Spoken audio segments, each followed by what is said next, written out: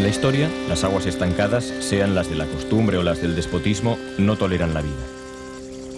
La vida depende de la agitación que realizan unos pocos individuos excéntricos.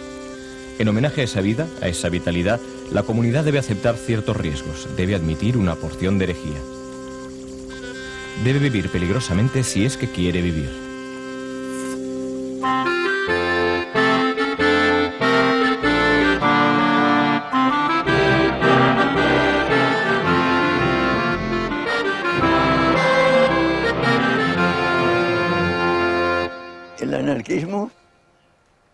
La libertad, es la puerta abierta hacia el infinito de la libertad y del bienestar de la humanidad.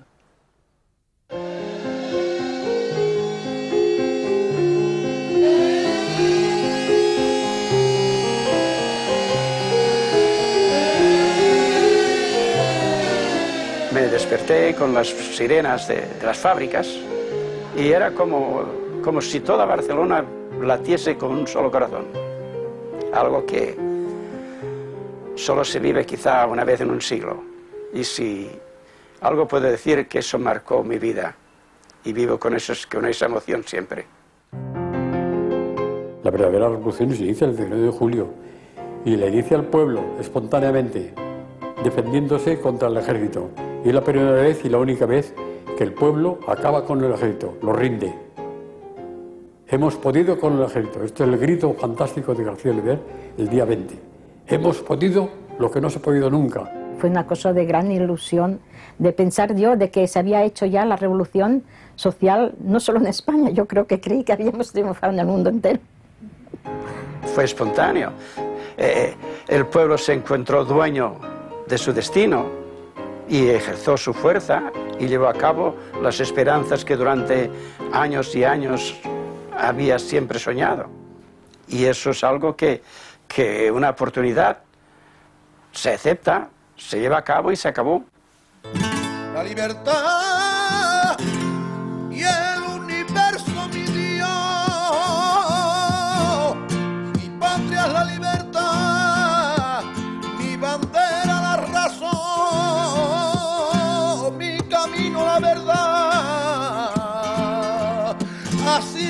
como pienso yo.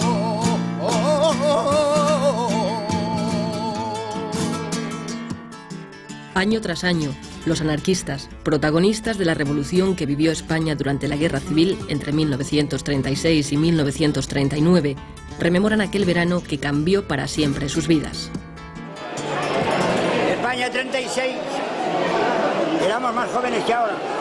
Cuando piensas que un pueblo sin historia no es un pueblo, no es nada. Y eh, esto te, te, te tira de, bueno, de culos, ¿eh? Hicieron todos los posibles para desprestigiar a la revolución y para borrarla. Hasta hace pocos años no se veía ningún libro que hablase de verdaderamente la revolución. Yo soy albañil y cuando he, eh, he tenido que construir una casa, he empezado siempre por los fundamentos. Y tanto las películas como todos los actos de, la vida tienen un principio. Y es en el principio, es en los fundamentos donde hay que empezar. Y eso hay que saber por qué nosotros mm, nos defendimos contra el fascismo, por qué vencimos al fascismo y qué, y qué eran las ideas que nosotros eh, preconizábamos y que el pueblo se sintió identificado con ellas.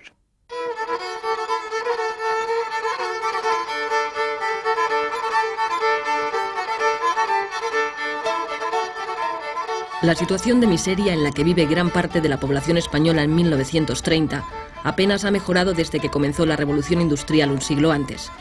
Continúan el analfabetismo y las profundas desigualdades sociales sin que las autoridades, la Iglesia ni la burguesía pongan remedio. El anarquismo, que aparece como una propuesta del socialismo utópico para luchar contra la injusticia social, ha ido calando a lo largo de 100 años en las clases más desfavorecidas del país. Las ideas de Kropotkin y Bakunin arraigan con fuerza, especialmente en Andalucía y Cataluña.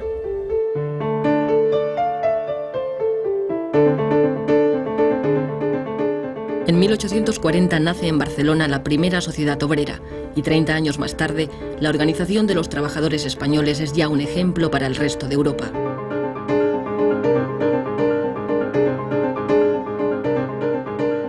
Tras la escisión de la Primera Internacional, en nuestro país triunfan las ideas antiautoritarias de Bakunin frente a las que propugna Marx.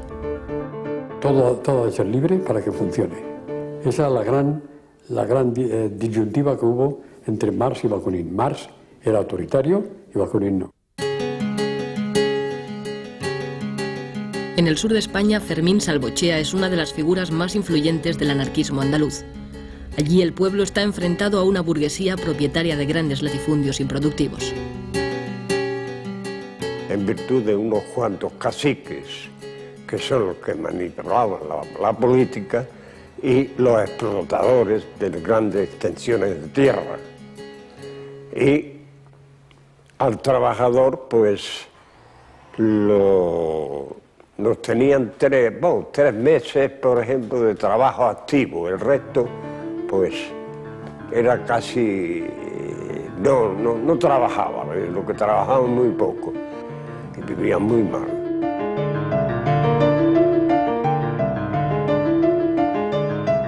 En Jerez, 4.000 campesinos toman la ciudad al grito de Viva la anarquía, asaltando los comercios en busca de comida.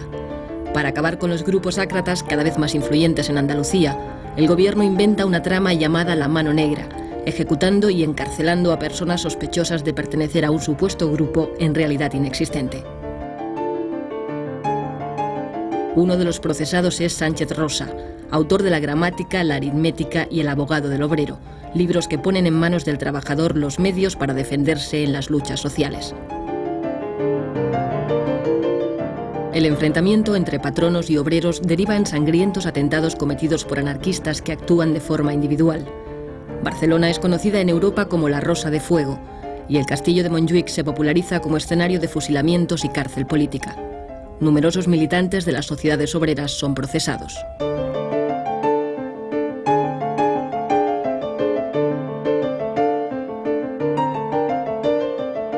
Se ha dado una imagen del anarquismo, de siempre la pistola, siempre... No, señor. Hubo que emplear la pistola también, pero principalmente se basó en la concienciación de, la gente a través de la labor cultural, para crear lo que deseamos como un mundo nuevo. Para los anarquistas es el pueblo el que ha de adquirir una conciencia revolucionaria, conociendo primero la realidad para poder cambiarla.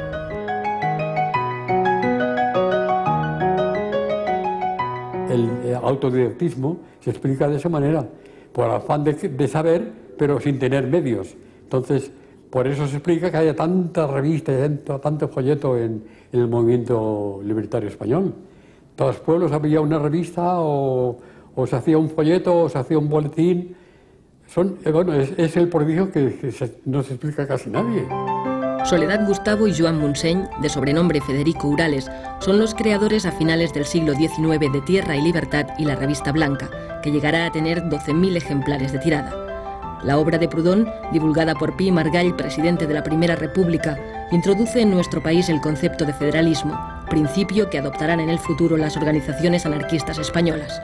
Anselmo Lorenzo, con el proletariado militante, propone ideas revolucionarias para la emancipación de la clase trabajadora en una futura sociedad basada en la libertad, la solidaridad y la ausencia de todo autoritarismo.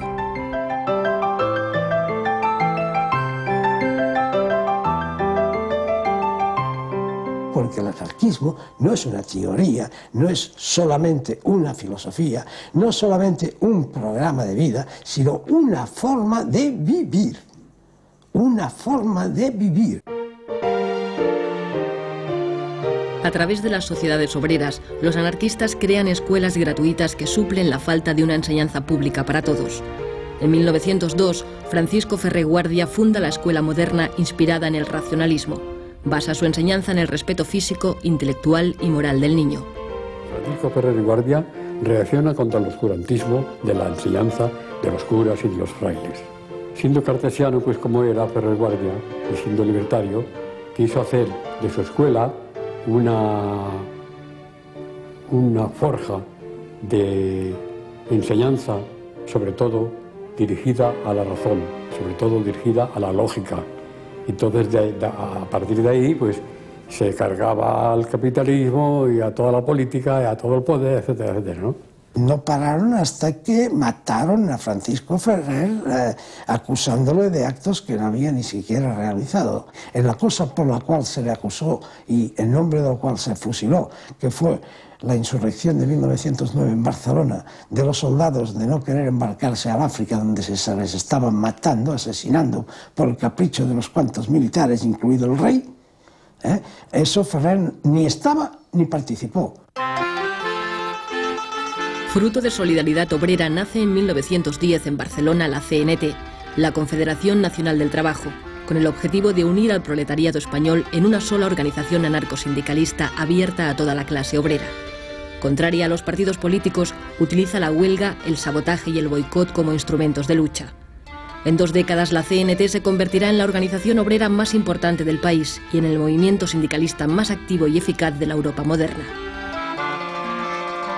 La CNT es el intento de los obreros de organizarse eh, para conseguir económica y socialmente una sociedad mejor, dentro de la cual a un poco largo plazo está la autogestión, o sea, la capacidad obrera para asumir eh, todas las funciones que ahora tiene el Estado.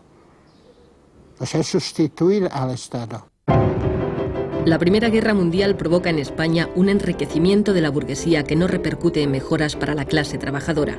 Las tensiones aumentan y como reflejo de la Revolución rusa, los obreros españoles organizan numerosas huelgas hasta conseguir, por primera vez, la jornada de ocho horas había una fundición que despidieron a cuatro obreros porque pedían las ocho horas y no lo querían dar y entonces los patrones eh, cerraron las fábricas y lo cerraron todo. Ripoll se tuvo que hacer comida, rancho, en la plaza del ayuntamiento para alimentar el pueblo, porque duró unas nueve semanas. En 1919 la CNT tiene ya más de 700.000 afiliados. Los duros conflictos laborales provocan entre los jóvenes reacciones extremistas y la aparición de grupos de acción como los solidarios.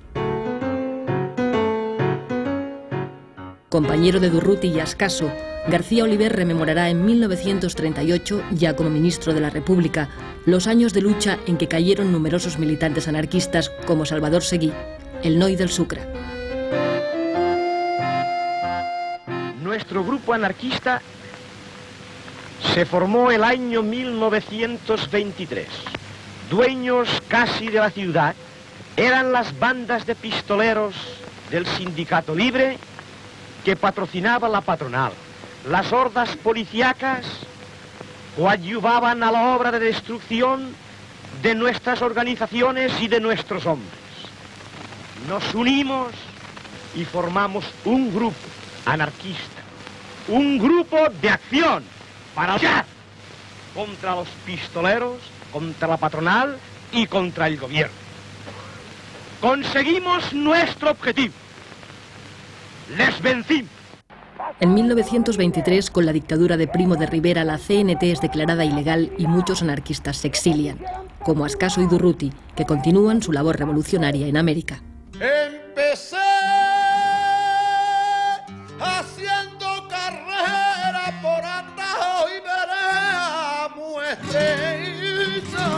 para mí. Y decía mi vecino que llevaba mal camino, apartado del redil.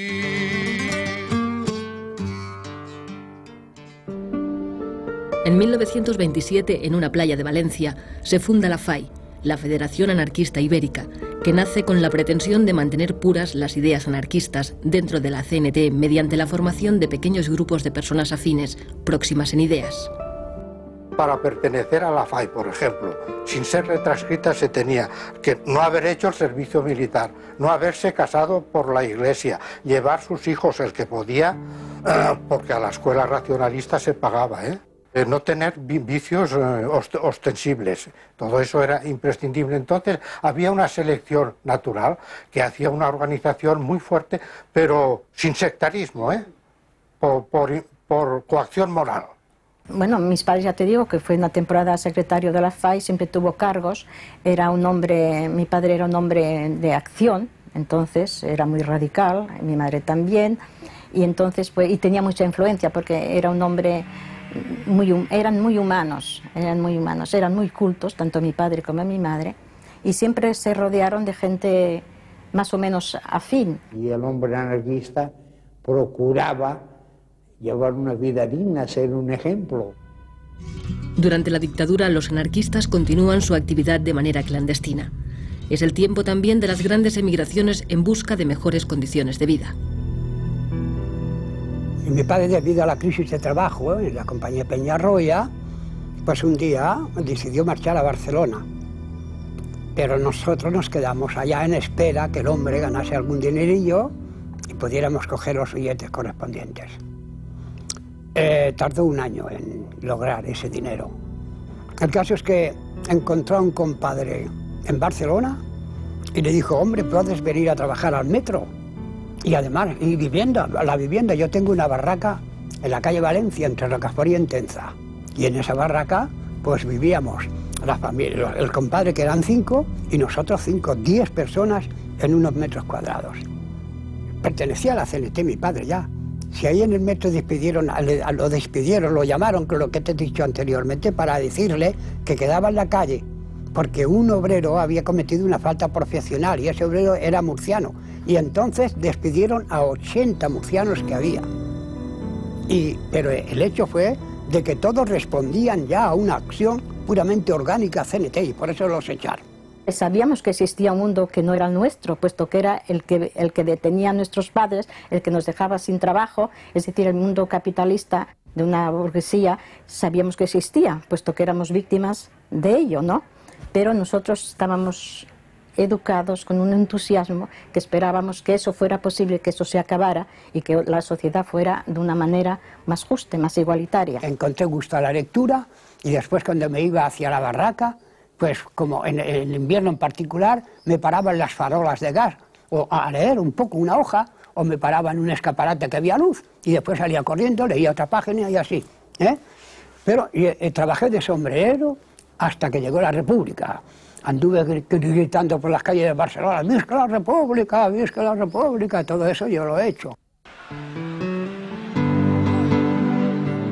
El 14 de abril de 1931 se instaura democráticamente en España la Segunda República y el rey Alfonso XIII parte hacia el exilio. Era una fiesta en Barcelona, por lo menos, la que yo viví, desbordante, todo el mundo, pero, pero las calles estaban llenas de gente. No se concibe cómo sin preparar esa fiesta se pudo producir ese fenómeno.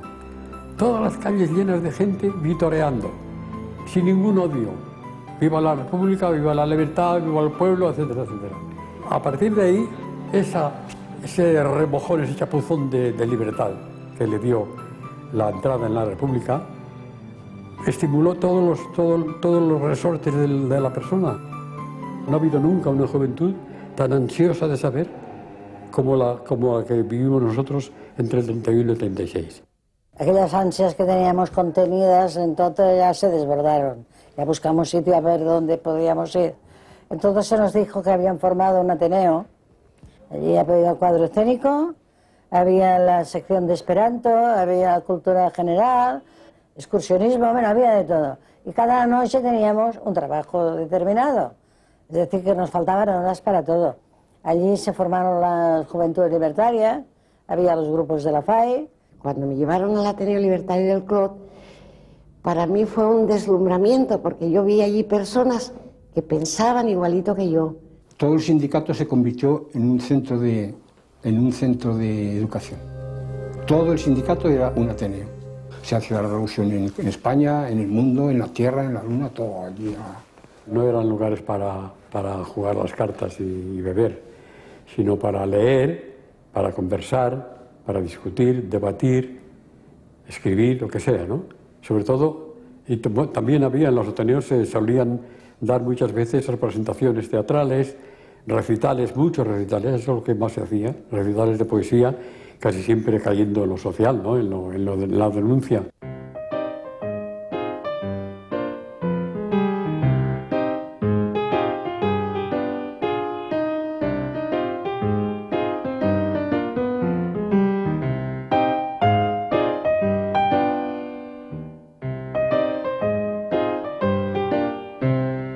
Fue un gran éxito todas las publicaciones anarquistas de España. Llegamos a tener estrictamente del anarquismo más de 70 publicaciones. Cuando se reunían tres anarquistas, coño, se hacía un periódico. Que si el cantero, que si la voz de la tierra. Entonces se inauguraron las paradas en la Rambla, que no se había hecho, que fue un éxito, yo me acuerdo, un entusiasmo. No, no, no teníamos manos para vender no teníamos manos todo, eh, el aborto legal, eh, las doce pruebas de la inexistencia eh, de Dios, dinamita cerebral, voceando todo, todos los periódicos y así de gente comprando, porque no nos habían dejado hasta entonces hacerlo. Debía tener diez años, toda Barcelona voceando Tierra y Libertad. Tierra y Libertad, órgano de la Federación Anarquista Ibérica. Pues eso, fue un núcleo de reunión formidable donde sobre todo la de, prensa, de la gente exponía así sus ideas y fue un centro de conexión de mucha gente, Tierra y Libertad. Se estaba haciendo una revolución mental extraordinaria, extraordinaria. Eh, Tierra y Libertad pasó de unos 4.000 ejemplares cuando la cogió mi padre a 20.000, 20.000 en 1934 y 35. La novela ideal, creada por la familia Urales, padres de Federica Monseny, pretende divulgar las ideas éticas del anarquismo mediante una escritura fácil. La novela ideal hacía una gran labor en la juventud, ¿sabes? Había temas muy interesantes y religiosos muy, también, sobre todo, sobre todo porque la religión en la época en España tenía y ha tenido siempre mucho dominio, pues también se buscaban temas eh, en ese sentido, eh, para combatir eh, la, la religión. Fundada en Alcoy en 1923, Generación Consciente inicia a sus lectores en la sexualidad y la salud. Años más tarde, con el nombre de Estudios, alcanzará los 70.000 ejemplares de tirada. Y esa revista habían muchas veces artículos que hablaban de estas cosas. Y claro, eso pues me, a mí pues, me, me, me, iba llenando, ¿no? A mí me, iba... Cuando hay algo que decir, cuando hay algo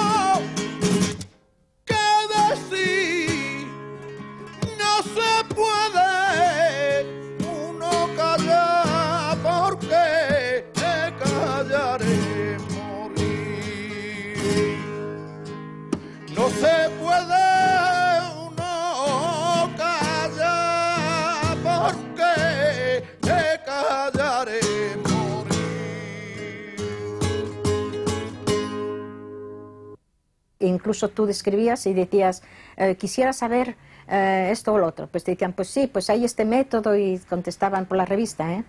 Revista Estudios. Y luego había, la pentalfa era más bien sobre los nudistas. No sé por qué pasa que en las grandes fábricas del, de la siderometalurgia, pues la gente se da el alcohol. Se suda mucho se da el alcohol. Por contra, habían unos cuantos que se veía enseguida, se distinguían de los demás, que no fumaban, que no bebían, que leían, que, que hablaban, que comentaban.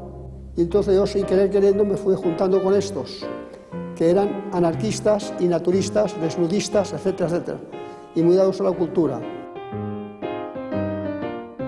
Para nosotros el amor libre era simplemente que una pareja estuviera de acuerdo en convivir por afinidad, unirse libremente sin firmar papeles, sin hacer contratos. Bueno, y cuando hubiera disensión, de mutuo acuerdo separarse y quedando amigos, ¿no? Sin pleitos y sin nada. A mí me parece que fue una cosa completamente revolucionaria, porque salir, salir la mujer de poder tener un compañero sin pasar por la iglesia, sin bautizar el hijo, sin todo eso, la, entonces la mentalidad de la mujer entonces era una cosa terrible cerrada. Enseguida era una cualquiera. Los anarquistas quieren cambiar la sociedad tradicional por medio de una intensa labor cultural e ideológica y para ello crean nuevas organizaciones que tratan de propagar la idea entre los jóvenes. Nacen las Juventudes Libertarias, que más tarde se unirán en una federación ibérica de la que Fidel Miró será su secretario general. El lema era cultura y propaganda, repartir propaganda y procurar que entrara gente, no lo pedíamos a nadie antecedentes ni, ni qué ideas. ¿Quieres ser de los puntos libertarios? Entra. El día que te canses, te largas. Cuando los muchachos me llevaron a las Juventudes Libertarias, me integré al grupo de Sol y Vida. Era un grupo excursionista que nada más el resto de la semana vivíamos esperando el sábado. Teníamos tanto afán de instruirnos porque éramos todos pues proletarios que hacíamos paradas y alguien leía un libro, una frase y entonces la comentábamos, descansábamos, seguíamos andando. Es que era una labor permanente, que quizá incomprendida ahora, pero es la que dio un nivel cultural, eh, de un, gran sentido consciente de, la existencia a estas generaciones que íbamos accediendo al mundo del trabajo. Los mítines, la acción directa y la propaganda ayudan a recuperar la influencia de la CNT. En ciudades como Barcelona, uno de cada dos obreros está ya afiliado a la central anarcosindicalista.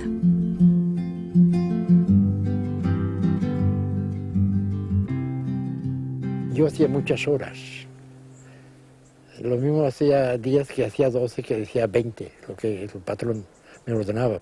Y un día me, me presenté al secretario de la CNT y así de una forma tan ingenua le digo, yo puedo pertenecer a la CNT. Y me dice, pues claro, tú eres un trabajador. Y el hombre me hizo muchas reflexiones y una de las cosas que siempre retuve mucho, me dijo que fuese honrado y que cumpliera que en el trabajo. Y que tenía derecho a hacer las ocho horas. Fui secretario de la Federación Local y Comarcal y los que no tenían miedo, pues, venían a la organización. Y sentían cierta confianza en, nuestro, en nosotros porque éramos los que dábamos un poco la cara. Los problemas más duros de los campesinos y de los pueblos los han resuelto los, los grupos ácratas que había en todos los pueblecitos. Y teníamos pues un, un fervor en el hogar, en la fábrica, en el sindicato, en la calle, en la plata, y claro. Y en Borriana pues se hizo un mitin que fue el, del pueblo, eh, fue la Monseni y fui yo. Y, claro, y allí pues hablamos todos. yo hablé antes que la Monseni, ¿no? Y hablé, y ella pues cuando terminé yo y esto, y dice, dice, dice, tú vales mucho para el campesino. Eso dijo. Y todo ello me acuerdo. Lo más chocante es que allí estaba la plaza llena y hablaban y nadie aplaudía. Un silencio. La gente no aplaudía. Pero pensaba en lo que, en lo que decían, escuchaba, solo de cuando en cuando se, ve, se oía la voz, ¡Viva la CNT! Y encuentras un eco rotundo, ¡Viva la CNT! o ¡Viva el comunismo libertario! Y eso inflamaba, se hacía sentir, vivías intensamente aquellos momentos sin aplaudir, sin esa retórica comunista que aprietan las palmas, palmas y palmas. Era más serenidad, era más conciencia.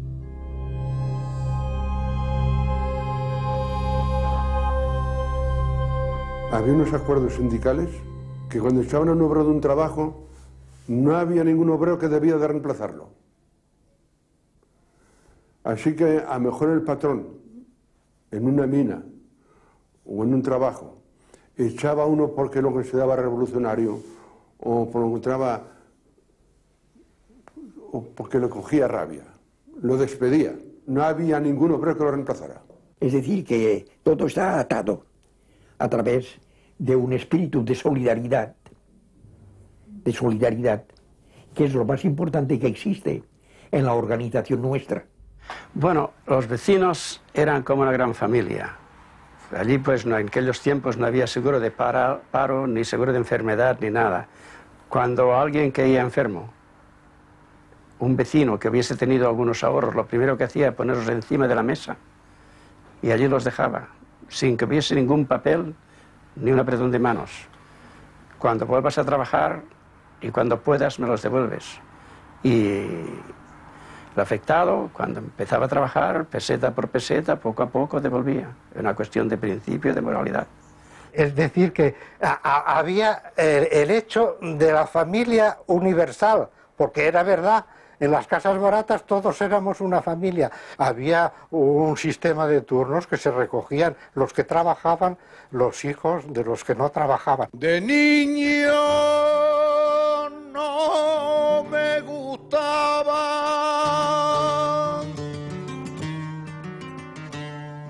los libros, ni la sotana, ni salir en procesión.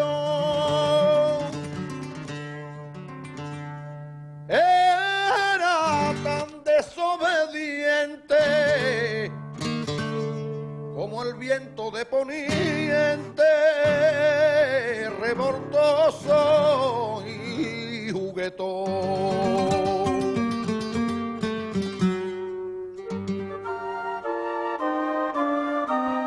Para combatir el analfabetismo y la educación católica, los anarquistas crean a través de los ateneos y de los sindicatos escuelas inspiradas en la moderna de Ferreguardia, aplicando métodos de pedagogos como De Crolí o Pestalozzi.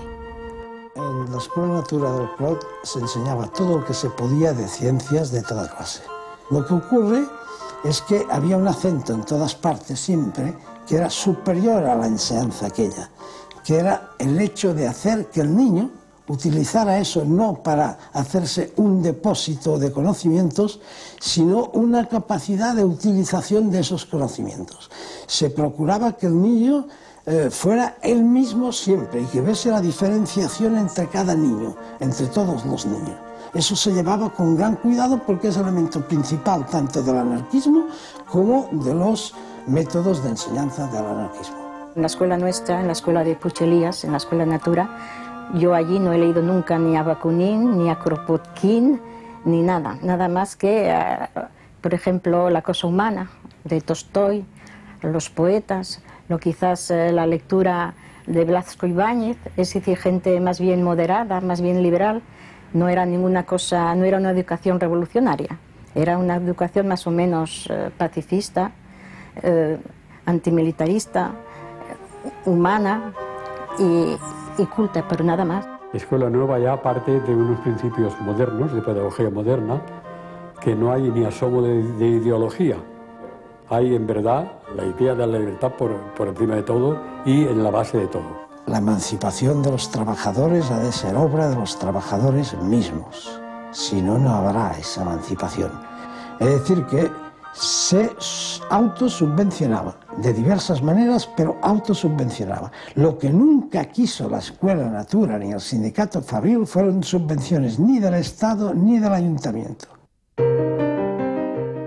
Pero las esperanzas puestas en la República defraudan a las clases más desfavorecidas del país. El gobierno tiene que hacer frente a numerosos levantamientos en Cataluña, Levante y Andalucía.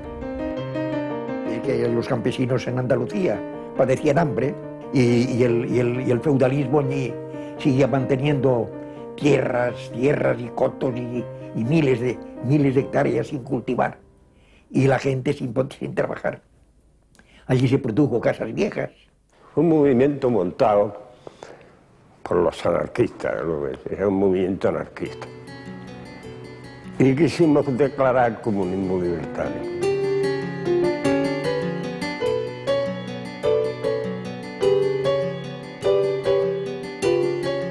A la familia de Casas Viejas, ¿eh? los asesinaron y además quemaron la casa. Y ese es un pueblo campesino de la provincia de Cádiz.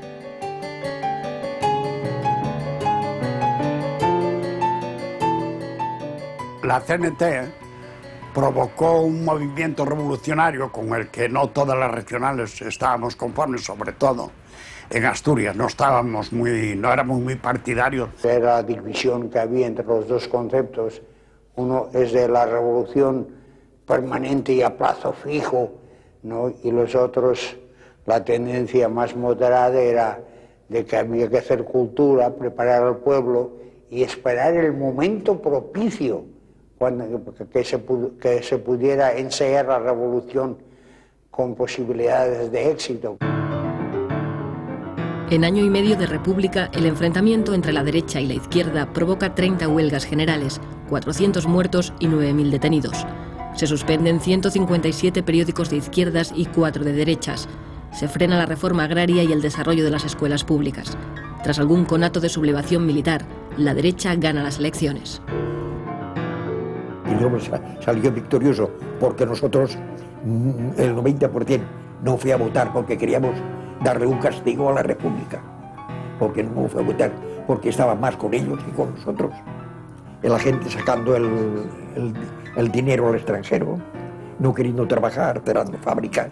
Los sindicatos estaban clausurados continuamente y las cárceles llenas de, de obreros, de presos gubernativos. El preso gubernativo es un hombre que no ha hecho nada, que no tiene más que un antecedente sindical. Yo estuve seis meses y no fue de los que estuve más. En Asturias, los trabajadores de la CNT y la UGT colectivizan minas y fábricas. Ramón Álvarez forma parte del Comité Revolucionario. La idea general estaba concebida, primero, detener el avance progresivo del fascismo en toda Europa. Y después se combinó en uno de los puntos, el fundamental, en que la finalidad del movimiento revolucionario de octubre era la implantación de una sociedad socialista federalista. Pero la revolución de Asturias no es secundada por las fuerzas de izquierda del resto de España. Los obreros asturianos resisten durante dos semanas el asalto de las tropas enviadas por el gobierno, con el general Franco al frente.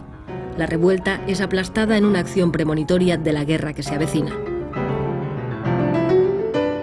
Febrero de 1936. El Frente Popular, la izquierda, derrota en las elecciones al derechista Frente Nacional. El voto de la CNT ha sido decisivo. En febrero decidimos votar nosotros. Muchos, yo no voté, pero muchos votaron porque teníamos alrededor de 15.000 presos en las cárceles de España. Se suceden las huelgas, las ocupaciones de tierras y los enfrentamientos de la Guardia Civil con obreros y campesinos. Mientras la derecha prepara el golpe de Estado, las organizaciones más radicales llaman a la revolución. Para mí el comunismo libertario es mi máxima aspiración. Para ello, en el año 36 celebramos un congreso en Zaragoza y después de mucha discusión, porque a nosotros nos gusta mucho discutir, pues llegamos a un acuerdo concreto de que la CNT propugnaba el comunismo libertario. Un comunismo, como decía antes, que va de abajo arriba y no de arriba abajo, que se regula mediante asambleas, asambleas generales, con revocación inmediata de, de cualquier cargo si la mayoría lo exige, y ya el hecho de que la base sea soberana significa que no hay posibilidad de maniobras politiqueras, todos de todos, hay que distribuir equitativamente eh, y por tanto, si todos de todos, todo el mundo trabaja, todo el que puede, claro. Todo el mundo trabaja, todo el mundo se forma, sobre todo porque hay tiempo para, para formarse. España ha venido a menos por una triple división. Por la división engendrada por los separatismos locales, por la división engendrada entre los partidos y por la división engendrada por la lucha de clases. Entonces, eh, los falangistas habían empezado ya a, tomar bastante fuerza y se atacaba con, bastante intensidad a, los compañeros nuestros. Esto dio lugar a que por nuestra parte, pues nos, nos em, empezáramos a plantear una lucha más, más directa, incluso pues yendo armados. Los pueblos se dividieron en dos. En mi pueblo de 1.500 habitantes, los de la derecha no se saludaban con los de la izquierda. La generalidad de, de- de los trabajadores lo, lo tienen muy claro. Saben quién tienen enfrente a la Iglesia, que tienen enfrente al, al cap- al capitalismo, que son sus enemigos seculares. porque hasta la iglesia entonces ya se había enfrentado el cardenal Segura, se había enfrentado constantemente contra la República. Uy, ya aquello era, aquello era inevitable, este, ellos ya estaban en el extranjero ya entrenándose, ya tenían acuerdos con Mussolini y con Hitler. Entonces todo el mundo lo sabía y todo el mundo se preparaba. Y los partidos, y lo sabía el gobierno. Ahora, había ministros que dormían a la hora en que los otros se lanzaban a la calle.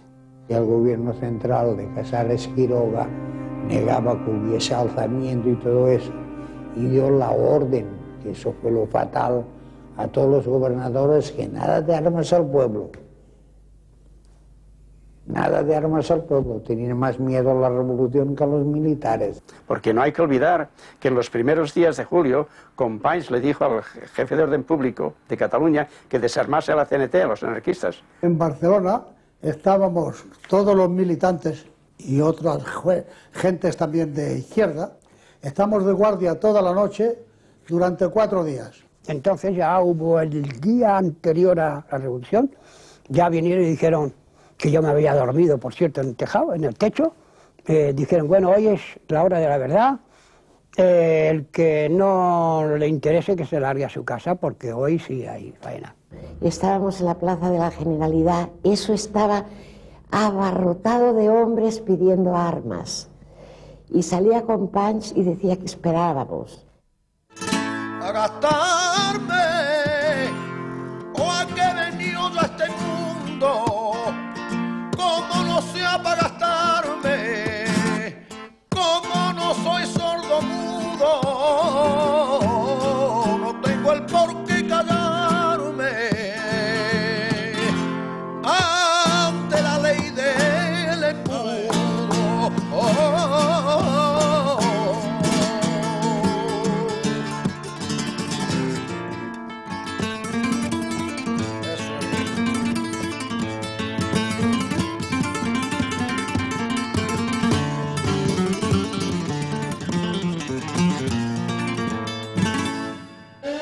19 de julio del 36. Los obreros de Barcelona alertan a la población ante la sublevación militar.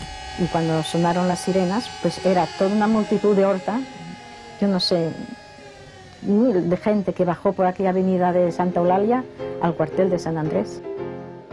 Díaz Sandino bombardeó, tiró un par de bombas en el cuartel, se abrieron los portones y todo aquel gentío se lanzó a coger las armas. Ya se hacía de día, en, eh, y entonces bajamos y al llegar a la carretera de Sanz ya vemos un coche que le enseña CNT FAI. Lo paramos, eh, eh, eh. entonces, ¿qué, qué? Oye, ¿qué pasa? Bueno, pues es en la Plaza Cataluña donde está el asunto. Pero al llegar a la altura de la Plaza de Toros, por detrás ya viene una compañía con, con- con- con el fusil en posición de tiro y los oficiales con la pistola en la mano. Entonces salimos por las bocacalles a, a tirotearles.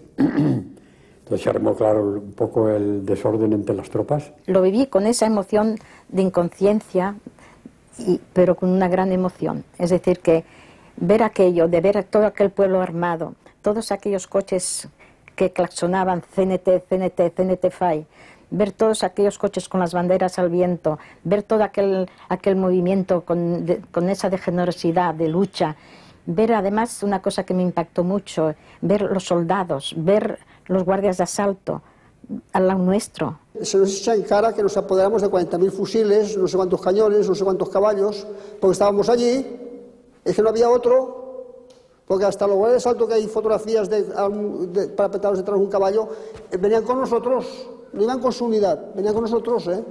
Pero en fin, como se pudo, como había tanta gente, parece mentira, como, como salieron de todas las casas, a millares, a millares, ¿eh? La gente, pues se asustaron, los militares se asustaron y se rindieron.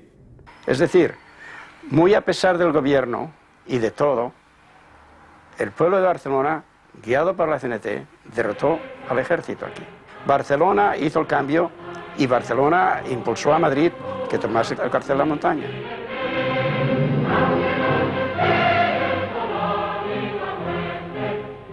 Es una manifestación pública de todo el pueblo de, Madrid que se levanta como, como, puede o que se trata de oponerse ya de, desde ese momento a lo que se le, se le viene encima. España ha quedado dividida en dos.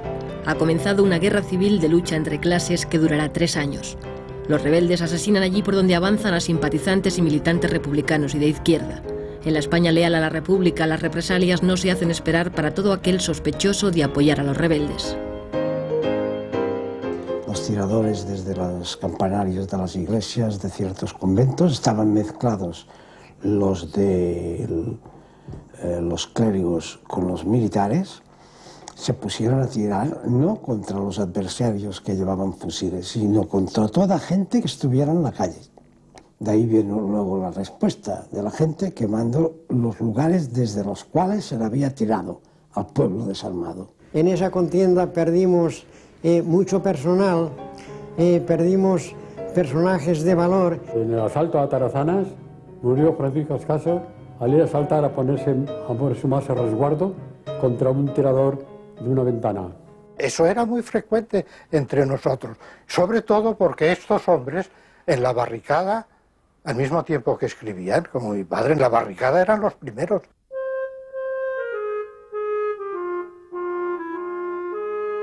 La nula capacidad de reacción del gobierno de la República ante el golpe militar y el desmoronamiento de las estructuras del Estado provoca que en muchos lugares sean los propios ciudadanos los que organicen sobre la marcha la nueva sociedad.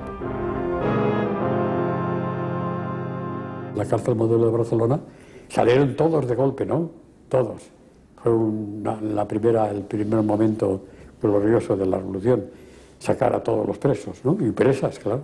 Ya se rompe con, con, con toda la cosa de, del Estado y todo, ya, ya, ya se rompe, ya, ya nosotros, ya, y para nosotros ya no sería gobierno ni sería nada. Ya era una cosa del sindicato.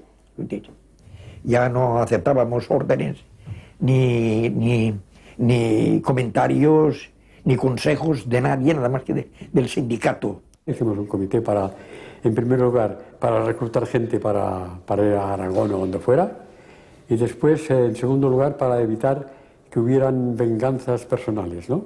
El 19 de julio, automáticamente hubo un cambio de sociedad, porque la mayor parte de capitalistas habían marchado, y otros abandonaron, se oyeron, y los obreros se tuvieron que hacer cargo de la administración de los trabajos.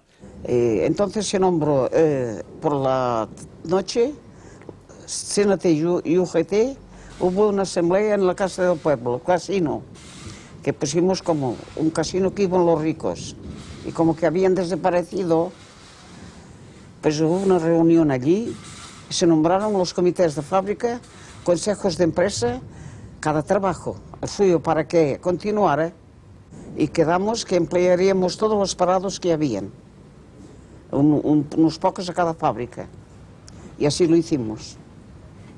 Y así que es que de parados no había.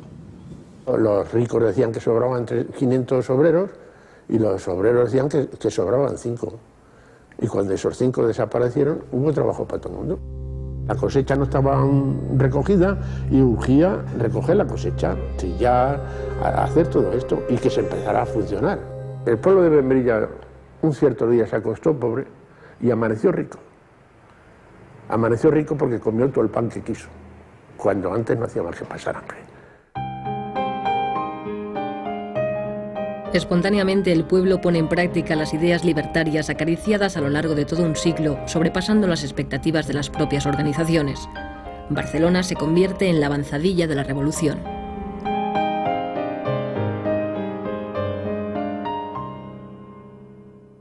En los primeros días enseguida entramos en contacto con el sindicato de transporte y empezaron a enseñar a las compañeras a conducir tranvías y tú tenías a compañeras conduciendo tranvías. Habían compañeros que empezaron a marchar enfrente o que querían marchar. Yo me dediqué a recoger libros con un camión para crear una biblioteca, que teníamos una ansia loca de crear una biblioteca popular en el barrio. En la entrada queríamos hacer unos carteles así que dijera hay unas vitinas, biblioteca popular, pueblo, estudia y supérate, entrada libre. ¿Eh? En Cataluña los anarquistas son ahora la fuerza mayoritaria y el poder que tenía la Generalitat pasa a manos del Comité de Milicias Antifascistas, un nuevo organismo nacido de la revolución. Los consejeros de la Generalitat abandonaron sus respectivos despachos. La Generalitat se quedó con el solo hombre de Companys en la jefatura de policía y la calle nuestra. Companys, ¿sabes?, pide a la CNT que le mande una comisión para tener una entrevista. Y les dijo, os lo debemos todos, vosotros habéis terminado con este azamiento, os habíamos juzgado mal. Desde hoy yo no sirvo ya para nada, yo no soy presidente. Si para algo valgo, les dice a la comisión, dice, estaré a vuestro servicio. Palabras de compañía. García Oliver propuso ir a por el todo y se lo pusieron, nada más votaron él y Chena, los de Hospitalet. Se lo puso Santillán y Federica Montseny. Federica Montseny diciendo, ir a por el todo es establecer nuestra dictadura, y eso es una negación del anarquismo. Y Santillán eh, dijo, si vamos a por el todo y establecemos el anarquismo, nos aislamos en España y nos aislamos en el mundo. Todo el mundo no, no, no nos va a dar nadie ni ayuda, ni, ni armas, ni nada. Y por eso la CNT no fue a todas ni quiso el poder que le regalaba, no solo regalaba a Companys, ya lo tenía. Y entonces colaboramos juntamente con los demás eh, fuerzas del, país con un organismo que se llamó Comité de Milicias Antifascistas.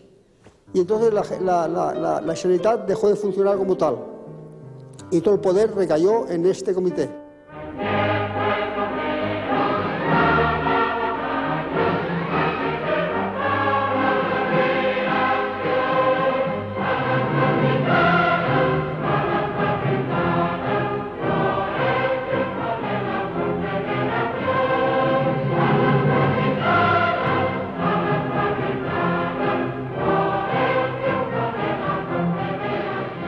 Empezamos a, organizar las columnas y hay esa salida que tenéis allí en la fotografía y se iban directamente al frente, al lugar que ellos pedían. ¿eh? Y la mayoría que pedía lugar era Condorruti, Condorruti, Condorruti.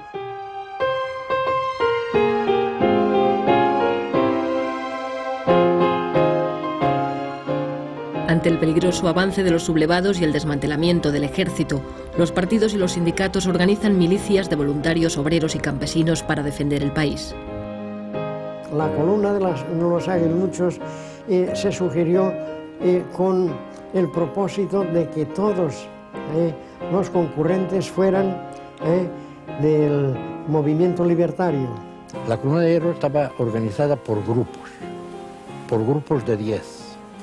Y 10 grupos formaba la cinturia. El jefe de grupo era uno que se nombraba desde estos, decían, pues tú jefe de grupo.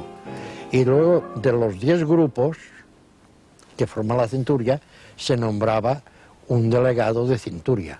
por amistad y- y por confianza, por la personalidad del compañero, pues se le daba la responsabilidad de mando. Allí siempre ha habido un mando, pero un mando en condiciones, no nada de eso, se decía, bueno, pues ahí pa- para, y se ordenaba y se cumplía. Yo salí de Arcolea y de allí, andando, fuimos hasta Madrid. Y al llegar a Madrid nos llevaron al cuartel, allí estaban los hombres y las mujeres. Fuimos allá para y se preparó el capatallón Ascaso y yo me fui en él.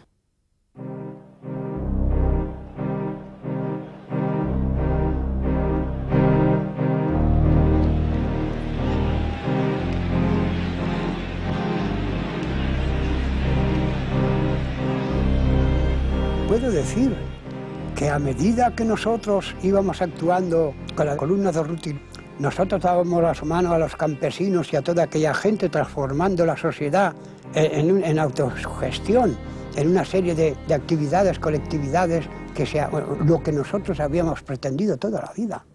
No era solamente tirar tiros. Ahí, a medida que nosotros eh, avanzábamos, pues ellos tenían campo libre para poder eh, eh, formar, eh, darle forma y ética a, lo que tenía que ser nuestra sociedad, nuestra futura sociedad.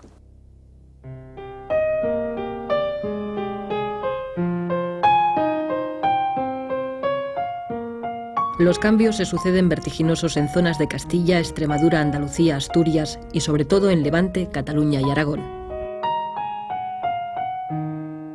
Yo era muy alcahuete y en cuanto veía que había algo de barullo o algo, pues allí me metía. Y me metí en una plaza de la Constitución que estaba repleta de calandinos. Todo Calanda estaba allí. Y desde el balcón, este comité revolucionario dice, a partir de ahora aquí se proclama el comunismo libertario y fue una multitud entera en la Plaza de la Constitución que aplaudió la frase. ¿Y en qué se compone el comunismo libertario? Queda abolido el dinero. Se va a expropiar a todo propietario, izquierdista o de derechas. Toda la maquinaria a disposición del pueblo, todos los edificios para que sean alojados los habitantes, independientemente de quién sea el propietario, trabajo colectivizado, distribuidos los trabajadores en grupos. No hizo falta eh, senecas para organizar aquello, que fueron los trabajadores mismos. Porque allí se constituyó primero pues, el comité de, del sindicato, que era el principal, que duda cabe. Y luego, comité de defensa, comité de agricultura, comité de alimentación, comité de peluqueros, pues los mismos trabajadores designaban a los delegados que bien más capacitados para que, para que cumplieran la, función de, llevar la marcha, de distribuir el trabajo, de, de distribuir todo. El desprecio tradicional de los anarquistas por el dinero provoca un cambio radical en las relaciones económicas. Se crean monedas locales, vales, y en muchos lugares se llega a la total abolición del dinero. Allí desapareció el dinero se hizo el montón que se llamaba de Cropoquín. Allí los alimentos se adquirían por vales y por las cartillas de racionamiento que se hicieron. En ese caso, cuando se trata de la toma del montón, pues naturalmente se tiene que tener aquella capacidad y aquel, aquella manera de, pensar de que, por qué razón vas a coger tú hoy dos kilos de carne si con uno tienes bastante y mañana puedes ir a buscar otro fresco o traje o un traje, o un par de zapatos. Allí se estaba exento de luz, de agua, de escuela, de todo. Allí no había que pagar nada. Y no, y no había egoísmo de nada. Nada, ni el egoísmo no existía. ¿Cómo puede existir si no hay dinero? Cuando no hay dinero no puede haber egoísmo. Hoy lo dices y no lo comprende la gente, pero que, que, no, que se asumió bien. El haber hecho la, la colectividad, como crear la colectividad, la inmensa mayoría del pueblo lo encontraron muy bien y esto que no eran sindicalistas ni eran anarquistas, todos. El que quiso ser individualista continuó siendo individualista, pero fueron muy pocos. Y el que, como mis padres, aquí, a 30 metros de aquí, por ejemplo, que eran individualistas, tenían que responder para tener el derecho que la cartilla les daba, tenían que responder con productos, no había dinero. En aquel año mis padres elevaron cuatro cerdos para la matanza. Vino un compañero, por cierto que allí disgusté un poco a mi madre por lo que hice, vino un compañero, yo ya sabía que iban a venir, decide el compañero de que la familia tenía bastante con un cerdo y le requisaron los tres con los cuales se pagaba el resto de necesidades de todo el año. Trabajábamos a gusto, y la otra pues que hay menos gastos en colectivistas que individuales. Porque ahora supongamos si hay 100 individuos que trabajan en colectividad y 100 que no, los 100 que no necesitan 100 tractores y los otros necesitan más 10. Destituidas las antiguas autoridades locales, son ahora los trabajadores organizados en la CNT y en menor medida en la UGT los que controlan la administración, poniendo poco a poco en marcha toda la vida pública. El Comité Revolucionario me asignó el cargo de delegado Bastos. Delegado Bastos, pues creo que eso ya se comprende. Nos hicimos cargo de todas las mercancías que teníamos y además un pueblo que no es que no da, trigo, pues venimos veníamos a Levante y lo cambiamos por azúcar. campo. Teníamos la fábrica de azúcar, pues había una cosecha ya. Y de allí nos llevábamos chocolate y cosas, intercambios. Ya con el carbón ya se traían mercancías de, de calzado, de, de, vestidos, todo eso para el pueblo, y ya se traían de, de, de afuera. Se nombraba cada pueblo una delegación representativa de cada pueblo y allí se construyó en Benicarló, digamos, la Federación de Colectividades.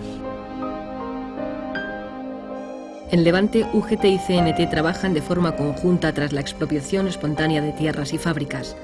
Bajo la organización de la Central Anarco-Sindicalista, Alcoy se convierte en un ejemplo de autogestión obrera con las industrias colectivizadas en su totalidad. Se crea el CLUEA, el Consejo Levantino Unificado de la Exportación de Agrios, encargado de coordinar directamente desde las colectividades la venta al extranjero. Muy pronto este organismo nacido de la revolución topará con las reticencias del gobierno central que comienza a apoyar a las cooperativas comunistas. Y en el extranjero ya teníamos, en París, en Bruselas, en, eh, en, en, en Holanda, en fin, todas esas cosas. Todo aquello funcionó perfectamente y cada vez mejor, cada vez mejor.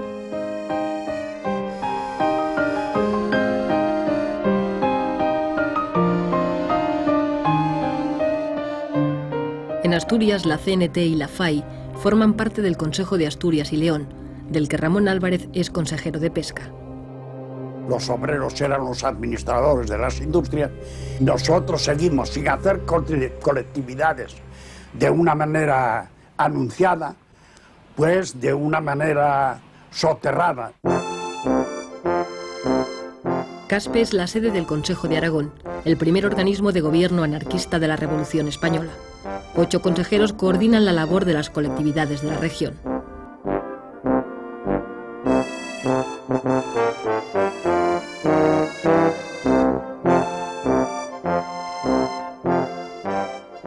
Aquí en la región que fue el centro, digamos, mayoritario de las colectividades, con su consejo en Caspe y todo eso, en, en Levante hubo colectividades, en Andalucía hubo colectividades, en Castilla hubo colectividades, hubo colectividades para todo, pero tan, tan homogéneo como, como en Aragón no la hubo en ninguna parte.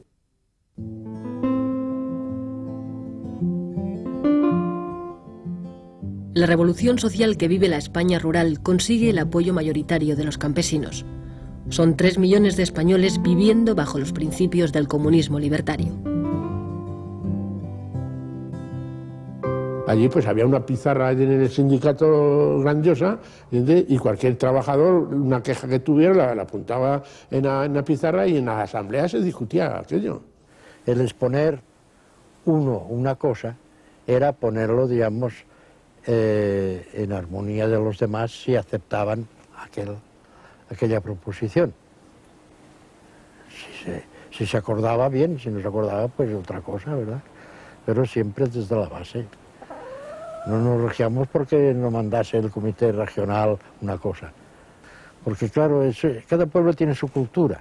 Por lo tanto, al tener su cultura tiene sus costumbres. Entonces no son las mismas costumbres nuestras aquí valencianas como diríamos las andaluces, son diferentes. Con la ocupación de tierras y un reparto más racional del trabajo, la producción aumenta. La gestión colectiva de los beneficios permite la construcción de hospitales, escuelas, acequias, granjas y centros de experimentación agrícola. Había, además de la, del grupo escolar Francisco Ferrer, donde se pusieron 18 maestros, del huerto del convento, del huerto de los frailes concretamente, se hizo una zona de experimentación agrícola. Se plantaron viñedos, se plantaron olivares, ¿eh? olivares que eran viejos, que eran productivos, se hacía carbón. En fin, hubo una transformación y que la colectividad prosperó mucho. E inmediatamente se decidió el, el adquirir dos tractores y dos tractores en Canda, sin parar de trabajar, hace mucho. Y con aquello, pues no solamente se suplió las 350 hombres que fueron al frente, sino que se aseguró, y eso es más que, más que verdad, se aseguró que nada de, lo, nada de las tierras cultivadas hasta la fecha quedaron yermas. todas fueron cultivadas. Como aquel que calla otorga, y aunque la ignorancia es sorda, pude levantar la voz más fuerte que los ladrillos de los perros consentidos y que la voz del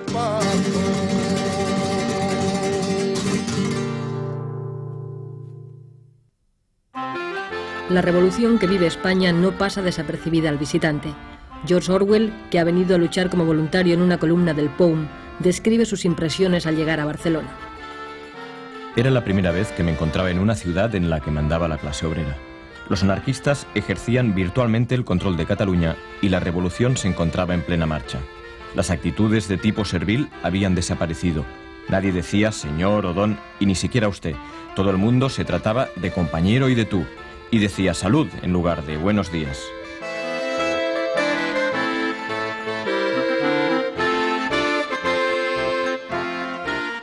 Barcelona es el centro neurálgico de la revolución en la España urbana. Con la CNT y la FAI al frente del Comité de Milicias Antifascistas, Cataluña vive una de las transformaciones más radicales de su historia, que afecta a todos los aspectos de la vida política, social y económica. El 80% de las empresas se han colectivizado y todos los servicios están autogestionados por los propios trabajadores. Estos cambios serán legalizados por la Generalitat en octubre de 1936. No hubo problema alguno en quién iba a dirigir, quién había de ser el dirigido, ni nada de eso, porque ya formado sindicalmente en la CNT, ya había unos valores establecidos, unas personas que habían demostrado responsabilidad y, y buen hacer. Yo fui uno de los nombrados a la colectividad del Gran Metro. Y estando en el metro, en la colectividad, es cuando hubo una reunión general del transporte y me nombraron secretario. Y ahí empezó. Y yo era albañil, que conocía poco el transporte, pero eh, nos poníamos el corriente pronto de eso. Las circunstancias nos obligaban. Se organizó una comisión que se titulaba Administración y Control de la Propiedad Urbana, que se, que estaba compuesta de tres elementos de la Generalidad, tres de la CNT y tres de la UGT. Y de los tres de la CNT yo era un vocal, yo era uno. Entonces, la, propiedad no quedó abolida, pero quedó incautada. Los propietarios no tenían derecho a administrar sus fincas, tenían derecho a formar parte de la administración, de la administración de, este, de esta comisión. Los anarquistas podían hacerse los dueños de Barcelona y de Cataluña y no quisieron hacerlo. Y entonces vino la colaboración entre unos y otros. Y entonces, como los más fuertes éramos nosotros, la cuestión de enseñanza, pues se buscó a uno de los nuestros, al profesor Puig y él se ocupó de redactar con otros y demás, pero siempre dirigido por él, la constitución del cero. El Consejo de la Escuela Nueva Unificada nace con el objetivo de promover una escuela única, gratuita y laica en lengua catalana. La revolución crea también servicios de asistencia y previsión, inexistentes hasta entonces, que cubren gratuitamente la sanidad, las bajas temporales, la invalidez y la jubilación. Se lucha contra el paro aumentando los puestos de trabajo o contratando nuevos trabajadores, aunque no sean necesarios, para repartir el trabajo entre todos. Las pequeñas empresas y talleres se agrupan, se unifican compañías eléctricas. El entramado es complejo, pero implica a todos. Nos sentíamos involucrados y luego, claro, nos daba un protagonismo y una responsabilidad que asumimos, diría yo, muy a gusto. En las asambleas lo, lo que se discutía no tú que serás, yo que seré, sino cómo mejorar la producción, cómo el trabajo organizarlo mejor, cómo quitar eh, intermediario entre una acción y otra, porque claro, eh, una fábrica es compleja. Tienes que ser consciente de que trabajas para ti, entonces, que no mantienes a ningún patrón, aún trabajas con más anhelo. Elizalde, Ford, General Motors, Cross, Pirelli o Cangirona. Los trabajadores reconvierten de manera asombrosa en solo siete semanas empresas civiles en fábricas de armas. Esta transformación permitirá la supervivencia del ejército republicano.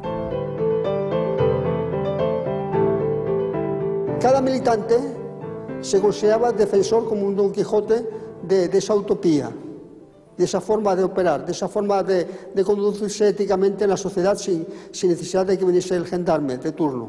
O sea, la autogestión eh, yo creo que eh, eh, es la asignatura pendiente aún ahora, porque aquel momento se demostró que, mira, hay el más ilustrado y el menos, hay el memo y el, y listillo, pero todos, todos tienen algo, todo ser humano tiene algo a aportar. Casi todo el mundo dice que es una utopía, ¿no? Es la única cosa que podría salvar el mundo, la anarquía. Es lo más bonito que hay. Cada cual, trabajar todo el mundo, ni amos ni patrones. Y cada cual hacer lo que tiene en su cabeza. Es que todo el mundo tiene algo adentro. Poco a poco, la realidad de la guerra obliga a los anarquistas a colaborar en las tareas de gobierno. Cuando cesó el Comité de Militares Antifascistas, que duró dos meses, el periodo revolucionario en Cataluña duró dos meses, ¿eh? de julio a septiembre. Hubo un nuevo gabinete, se nombraron consellers y era Sanital la que vuelve otra vez a coger el poder con sus consejeros. Cuatro anarquistas entran también como ministros en el gobierno de la República entre ellos Joan García Oliver y Federica Montseny, que se convierte muy a pesar suyo en la primera mujer que accede a un ministerio en Europa.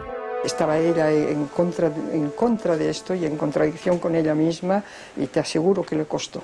Y cuando yo veía que además luego los compañeros la criticaban, yo me ponía desesperada. En Cataluña, por ejemplo, las juventudes fueron los primeros que se rebelaron contra la actitud de, de colaboracionista de la CNT y después que, que, hasta cierto punto se creaba una burocracia que no, no era muy buena.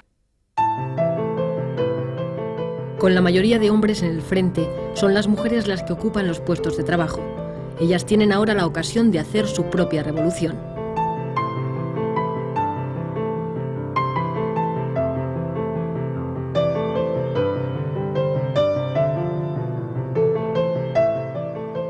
Al irse los hombres al frente, al ocupar ella puestos que, los, que dejaron vacantes los hombres en la, en la producción, quizás eso las despertó, se sintieron más libres.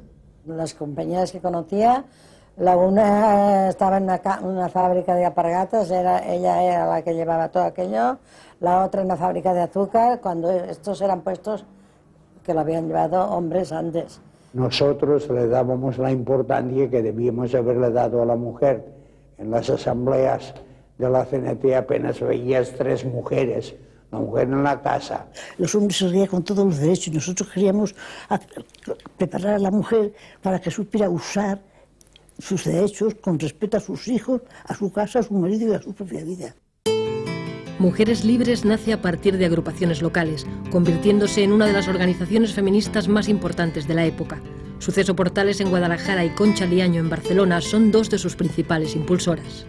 Éramos distintos a los movimientos de liberación femenina burgueses, porque nos dábamos cuenta que ellas, por su preparación, luchaban por, por equipararse o en competitividad con los hombres para ocupar los los cargos que ocupaban los hombres, pero nosotras nos dirigíamos a la mujer proletaria, a la obrera, a la que no tenía instrucción, que salieran de ese servilismo, que salieran de esa sumisión, en el trabajo, en el hogar, que se consideraran personas adultas. Y ahí fue donde tuvimos que hacer mayor, eh, mayor énfasis. Y en crear escuelas donde la mujer se capacitara no solamente para leer y escribir, me parece que yo no te podría decirlo, cientos y cientos de mujeres analfabetas que convertimos a, a, que supieran leer y escribir. Así que cuando, formábamos una agrupación, lo primero que se hacía era la escuela. A las mujeres las educábamos sexualmente con clases. Teníamos clases especiales y mujeres que las educaban y iban a los hospitales a hacer prácticas inclusive. Hicimos una serie de folletos a este, a este respecto. y con el respeto a la relación de los de la mujer que enviamos al frente. Hicimos lo menos miles y miles de folletos, unos folletitos pequeños. Los anarquistas promueven cambios sociales únicos en Europa. García Oliver, ministro de Justicia, es el primero en dictar en España una ley que iguala los derechos del hombre y la mujer. Federica Montseny, ministra de Sanidad, promulga la ley del aborto, que solo llega a aprobarse en Cataluña.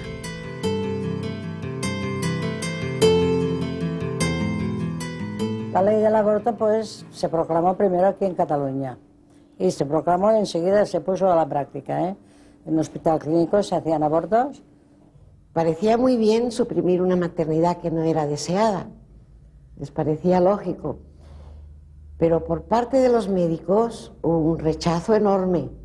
La maternidad consciente solo se puede adquirir a través de los conocimientos que te, que te, que te ocupas de conocer. Si estas mujeres no habían leído nunca nada y no sabían hacer nada, pues no, podías, no podías pedirle una maternidad consciente, ni a los hombres tampoco mismo, ni siquiera a los hombres.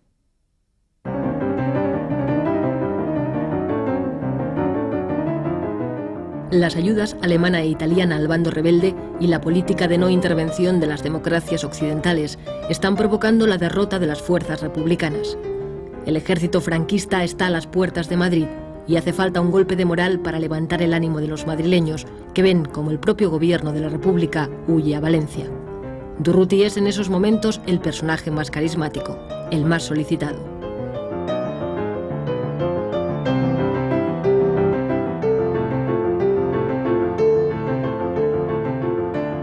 Figura de, de Durruti en aquellos momentos representaba el, la mayor atalaya de, de, de, de, libertad. Fue una inyección de, de optimismo, de esperanza. En un territorio desconocido y mal pertrechada, la columna Durruti sufre enormes bajas. Su actuación resulta, sin embargo, decisiva para la defensa de Madrid. El 20 de noviembre nos retiraron del frente y nos dijeron que había muerto Durruti.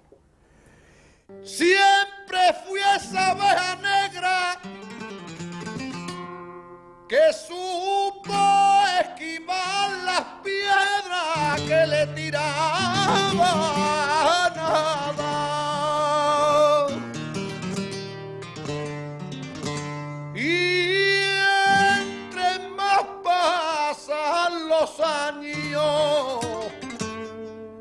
Más me aparto del rebaño porque no sé a dónde va. No ha habido en la historia un entierro como el de Durruti en Barcelona. No sé si contaron un millón y medio, que sea, algo, algo in, inenarrable. La República trata de reorganizar el ejército e impone la militarización obligatoria. El objetivo es ganar la guerra olvidando la revolución. Los anarquistas, sin embargo, mantienen su idea de derrotar al fascismo para crear una nueva sociedad. Dijeron que iban a militarizar la columna, que entonces pues no eran militar, éramos pues, pues milicianos y que la iban a militarizar. Y dijimos que no. Detestábamos la disciplina militar. Nosotros fuimos a la guerra por combatir al fascismo, pero no para hacernos militares. Todos los que hacíamos la guerra de nuestra generación éramos contrarios a la guerra y contrarios al militarismo, pero muy contrarios, ¿eh? pacifistas a carta cabal. En cuanto a eficacia de las cosas, yo no vi ninguna. Tan eficaz era 100 hombres llamándose centuria como 100 hombres llamándose compañía. Yo creo que el error primero fue hacerse, hacer, ponerse en el lugar del enemigo, hacerse ejército, y no guerra de guerrillas, que precisamente es nuestro honor histórico. Las guerrillas se dicen todo el mundo guerrillas por España. Y llegamos a la conclusión de que ya no era la revolución, sino que era la prolongación de la guerra. Y entonces, pues, para obtener armas y para poder vivir, tuvimos que aceptar la militarización. ¡Visca la libertad catalana! En Cataluña, los partidos tradicionales recuperan poco a poco el poder perdido el 19 de julio a manos del pueblo y las organizaciones revolucionarias. En mayo de 1937, los partidos nacionalistas y el recién nacido PSUC, los comunistas, provocan unos sucesos que generarán una guerra civil dentro de la propia guerra. Numerosos anarquistas son eliminados, el POUM ilegalizado y André Unín, su secretario general, asesinado. Los primeros días se vivió bajo el ambiente libertario toda Cataluña. Fue después, después, con los reveses y las dificultades que iban saliendo, que las fuerzas que no eran simpatizantes fueron reaccionando y ahí llegó los sucesos de, de mayo. El Artemio Guadé, que era consejero de la Generalidad, mandó la policía de la Generalidad a que se apoderara de la, de la Telefónica. La Telefónica estaba incautada por la CNT, claro, en la Telefónica se resistió y de allí empezó. En la barriada éramos los amos absolutos, pero en el centro había calles que eran de uno, calles que eran de otro, y así hubo una cantidad de muertos. Los comunistas fríamente se propusieron acabar con, con los líderes nuestros, para dejarnos sin cuadros directivos. Y casi que lo lograron. Eh, eso fue horrible. Nos mataban a los compañeros por la espalda. Mataron en San Andrés a más de 50 compañeros de las juventudes libertarios. Y para localizar, para parar eso, nuestros compañeros, que eran ministros, García Oliver y Federica Monset, se lanzaron de Valencia a Barcelona pidiendo el alto al fuego, el alto al fuego, y fueron ellos que, que se, le, se les hizo caso y se paralizó. Hubo una fracción incluso de nuestras columnas eh, que se brindaron para venir aquí eh, y acabar con los comunistas de una vez. Eh, y fuimos nosotros que no, que ya estaba bien de sangre. Fue un error, allí se perdió la mitad de la guerra en los acontecimientos de mayo. Las cosas habían cambiado radicalmente, había demitido ya Largo Caballero con los socialistas de izquierda y, y la separación de la CNT del gobierno y a partir de los sucesos de mayo pues se sintió en el ánimo de todos y en la sensación de que habíamos perdido mucha fuerza y que la fuerza la había adquiriendo el Partido Comunista, que todas las armas buenas que llegaban de Rusia iban a las fuerzas que ellos comandaban. Eh, solapadamente están empezando a entrar en los intestinos del ejército, a entrar en, el comisariado, a entrar en los servicios de información militar, que los ocupan casi en, su totalidad.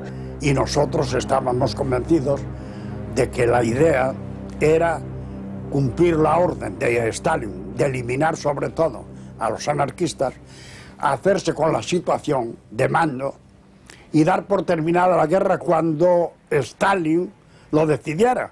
Era eso la cosa. Ideológicamente no les interesaba que estos mecanismos revolucionarios se llevaran adelante de tal manera que si ganábamos la guerra, al país se le pudiera decir, junto a haber ganado la, guerra, esta es la obra que, ha hecho el anarquismo, esta es la obra que, que ha hecho la CNT. Y esto como arranque para el futuro. Era la primera revolución anarquista en el mundo. Ninguna revolución que no fuese controlada por el Partido Comunista tenía ninguna significante para los comunistas y esos no lo podían, no lo podían permitir.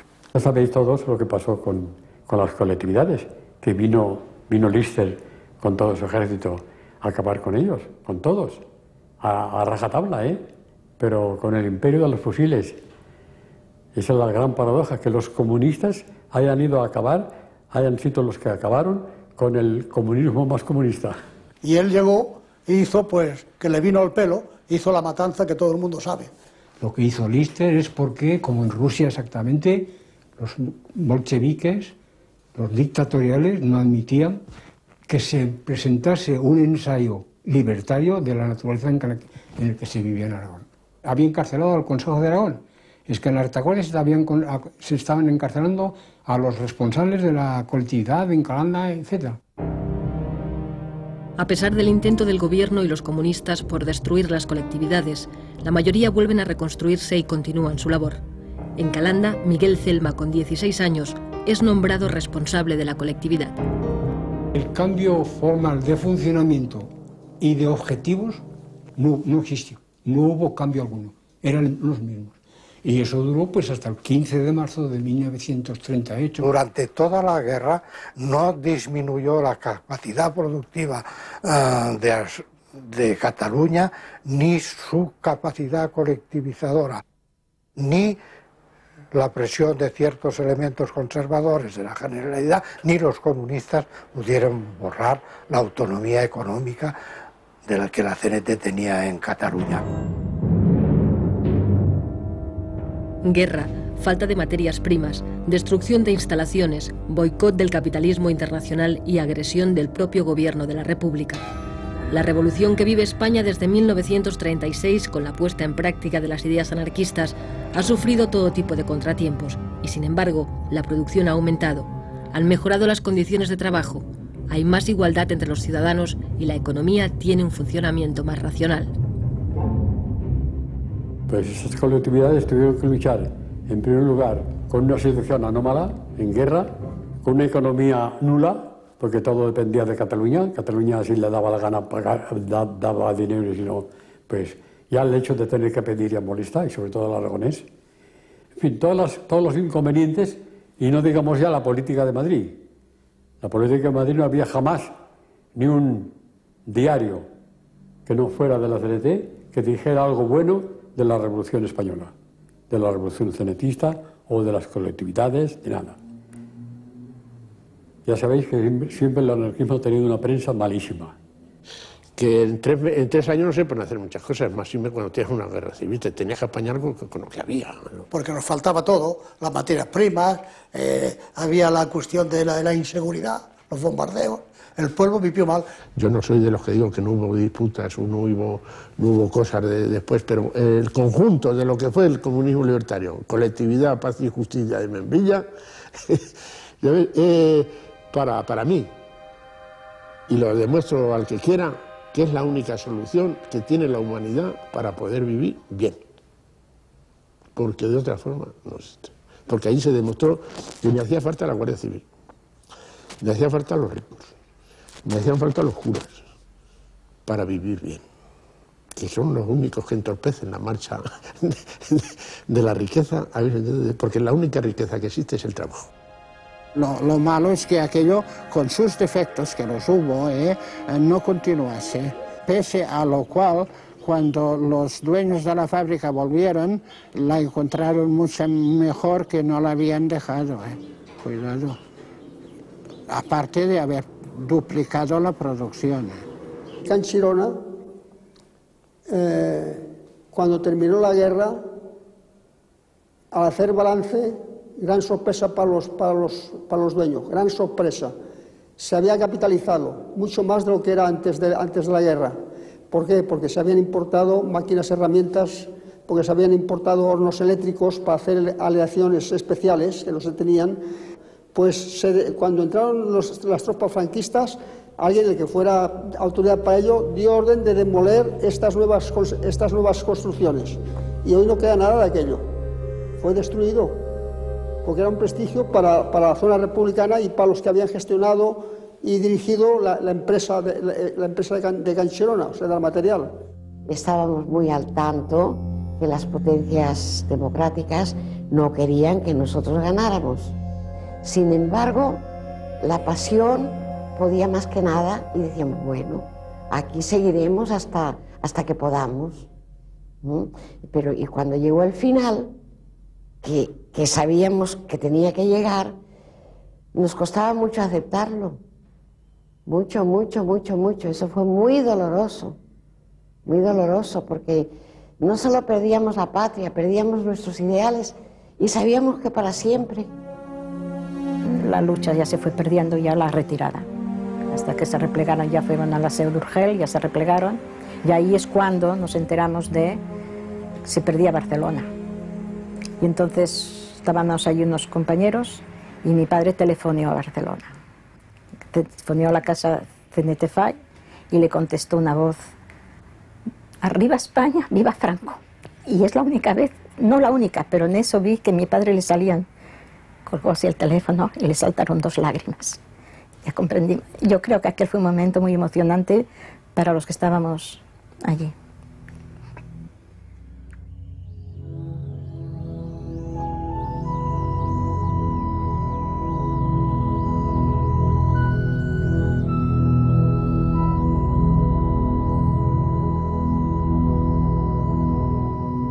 Se subieron los heridos con bonitas ambulancias y los rojos con amor a sus hermanos cuidaban.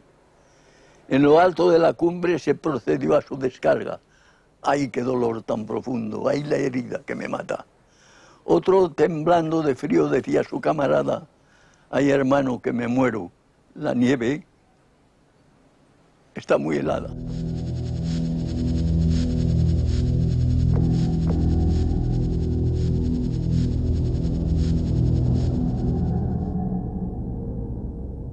Nos dijeron que la guerra había terminado. El que no quisiera, el que no estuviera de acuerdo con el régimen de Franco, se podía ir al extranjero porque los puertos de Valencia y Alicante estarían abiertos mientras habría una sola persona que quisiera marchar. No salió nadie del puerto de Alicante, de Rojos, de, la zona republicana, no marchó nadie. Nada más, nos cogieron a todos. Y nos llevaron al Albatera. Campo de Albatera fue cruel, algo que el que no ha pasado por un sitio así no puede creerse las barbaridades que allí lleguemos a sufrir.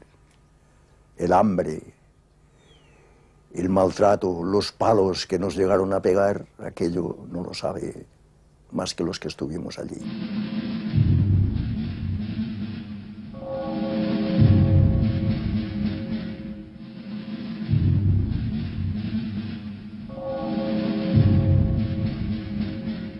A veces yo me pregunto si valió la pena tanto dolor, tanto sacrificio, tanto sufrimiento, pero luego pienso, en realidad nosotros le dimos una lección al mundo.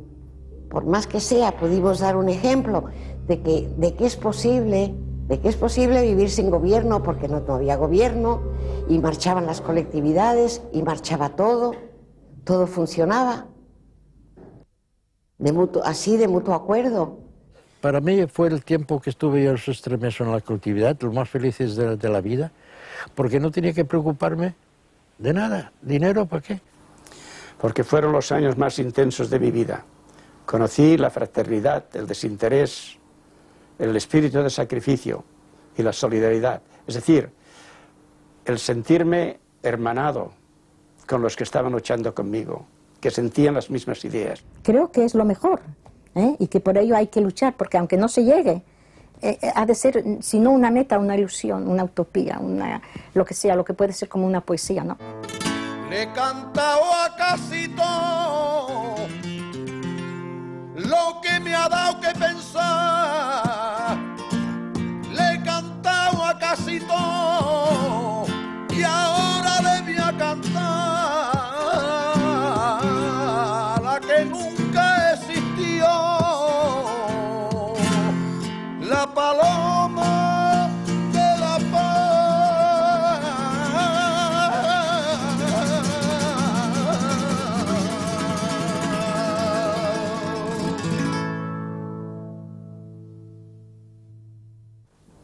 A los osados pertenece el futuro.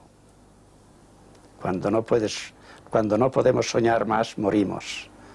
Así lo dice Emma y eso es verdad.